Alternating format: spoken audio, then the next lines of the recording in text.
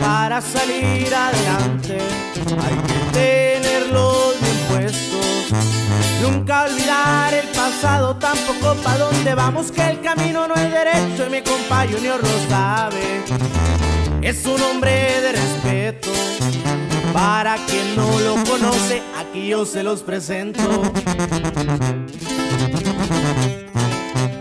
El 065 fue el taxi que navegaba por las calles de Jalisco. Lo miran pasar seguido, no se preocupa el amigo, esta es su segunda casa.